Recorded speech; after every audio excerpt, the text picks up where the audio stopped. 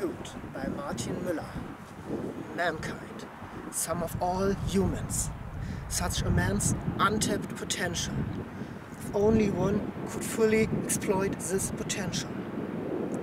The world will be consumed in its blazing fire in a single instant. We are the spark that divides the one, that force the two.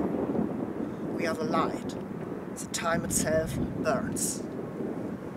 Flesh to fire, fire to light, blood running time away, cold, withdrawn being life, youth burning up in the heat of being.